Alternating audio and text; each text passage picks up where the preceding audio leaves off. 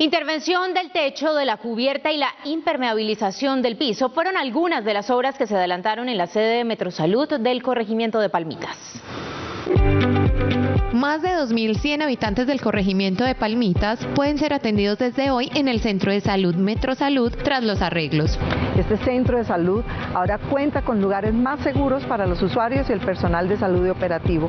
En esta sede las obras contemplaron la intervención de techo y cubierta, impermeabilización de piso, reposición de luminarias, renovación de algunos espacios y pintura, entre otras labores. El distrito adelantó el mantenimiento de esta sede para mejorar su calidad y evitar cierres temporales. Centro de Salud fue entregado y a través de vigencias futuras, con una inversión de más de 253 millones, se pudo hacer adecuaciones en mantenimiento a su infraestructura.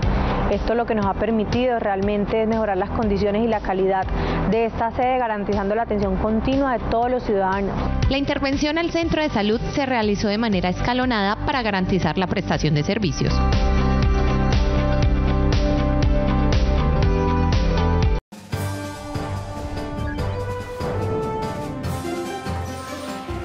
¿Sabías que ya ahora 13 Noticias cuenta con plataformas digitales?